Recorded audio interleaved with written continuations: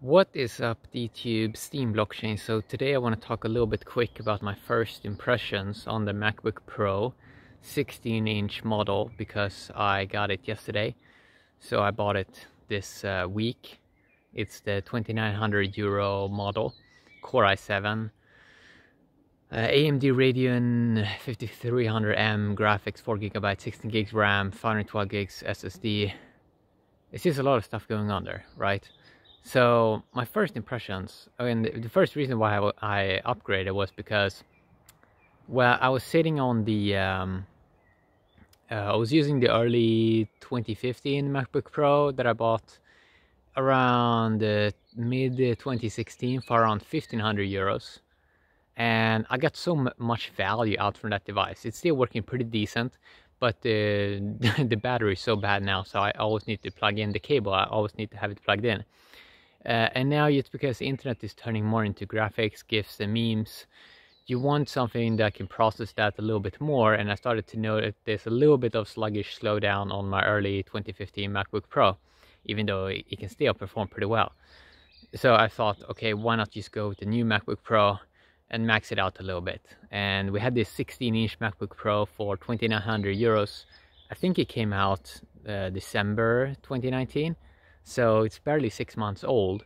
And first I was considering buying maybe 15 inch model or 13 inch model but then I was like well I got so much value from this uh, from this uh, 1500 euro 2015 MacBook Pro. So why not max it out a little bit? Why not go with the 50 why not go with the 16 inch MacBook Pro?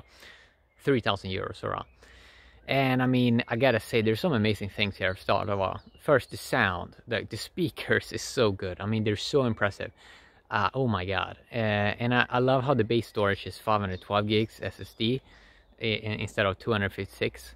Uh, you what else? Oh yeah, the new keyboard. The they have kind of upgraded the keyboard, so you get this new improved keyboard that hopefully won't break as fast. Because I have a few keys that kind of broke on my 2015 model and I heard that with this model they have a better keyboard installed and I can kind of feel it. It feels like it's way better in quality. Uh, and then some other things. Well the, the trackpad is way bigger than on my 2015 model which I love also.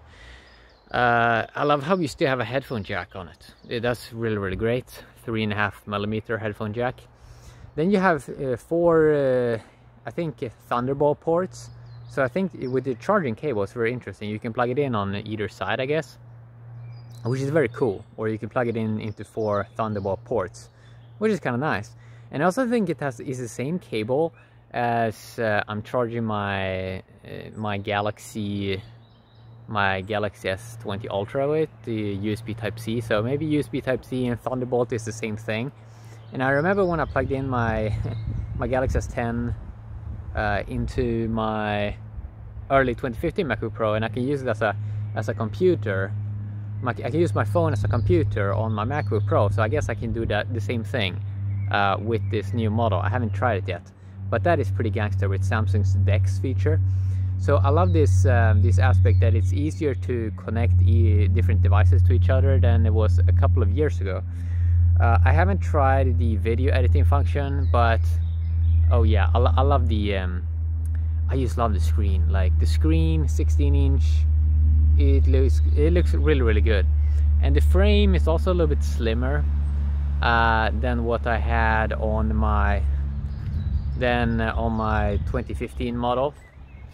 So a lot of things are pretty similar like in the UI experience and everything just because Apple is all about quality. I mean the user experience, the UI is very, very, very, very identical, uh, especially all the apps and everything. And this is something that Apple has been working on a long time, that the experience should kind of feel the same, uh, even if you're running like an older MacBook Pro, the, the user interface is not like a Windows computer where many things can change uh, between different editions. Here it's quite, kind of the same, right? But it's just a, it's a little bit more clean it's a little bit more slimmed down eh, it's, it's a little bit more smooth I also think the battery also is bigger which is also one of those kind of cool things Uh, another cool thing is I can play 4K videos on this computer. So I couldn't play even 2K videos on my on my 2015 MacBook Pro, but I can play 4K videos with this one, uh, which is uh, pretty pretty epic. And it, it's kind of nice this computer for workflow. Uh, it's just gonna it, it, just feels more smooth when I open up DTube, browse a few pages, go to Twitter or some other pages. It just feels good. Like it just feels really really like a good experience. Uh, I love the um, so one feature that I use a lot in uh, in especially the MacBook Pros. Uh, one feature or one thing I do a lot is I zoom in and out a lot uh, using the touchpad, and that is something that I notice also works pretty pretty great with this new MacBook Pro. And uh, yeah, I mean, it's just overall a great experience and uh, it's also nice yeah with this like four gigabyte um, four gigabyte graphics uh, that you get inside that also means that you can really go all into Final Cut Pro if you're really like into editing video it should really be it should really be some epic performance coming out of that so that is also something that is, is going to be very, very fun to maybe try out a little bit. So yeah, I'm, I'm super happy about this computer.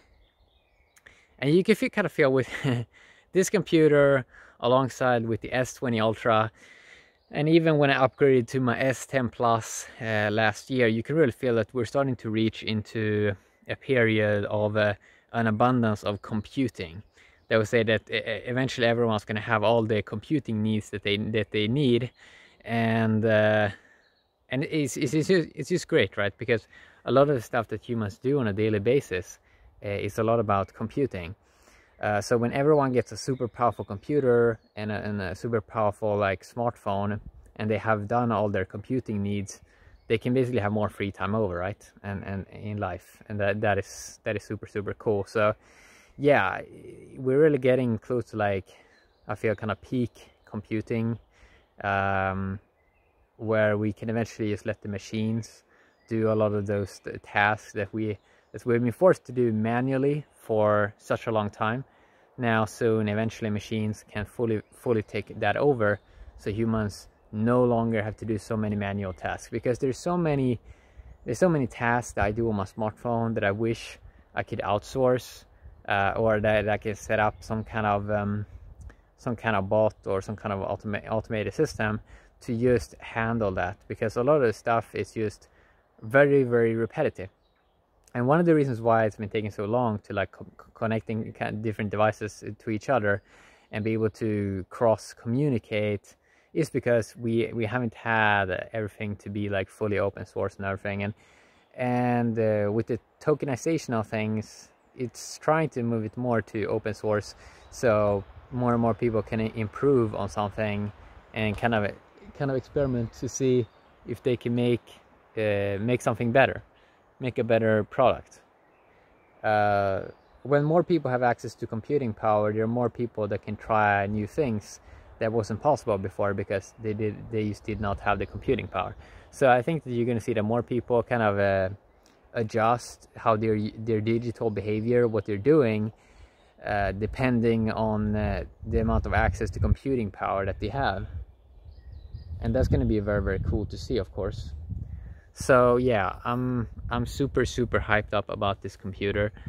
Uh, I don't think ever I'm gonna go back to Windows computers mainly because there's always some some things that kind of breaks or stops working my experience with windows computers while it's extremely rare uh, especially in the software software side it's almost like never that something like truly fails on a, on a mac which uh, is something that's kind of nice because you don't have to do so much like um, problem solving uh, I don't like the ideas of having to problem solve with a computer. It, it should just work, right? and um, it's kind of cool also now with all these powerful graphics that you can really now also if you want to game on a Mac fairly easy I mean 4 gigabyte graphics you could probably play most games, you know. And this is also on a laptop, should remember. So yeah, the, so yeah, I mean, first impressions amazing. MacBook Pro 16 inch. It's it's just nice, you know. So yeah, that's what I want to talk a little bit about today. Have a great day, DTube and Steem Blockchain. Bye bye.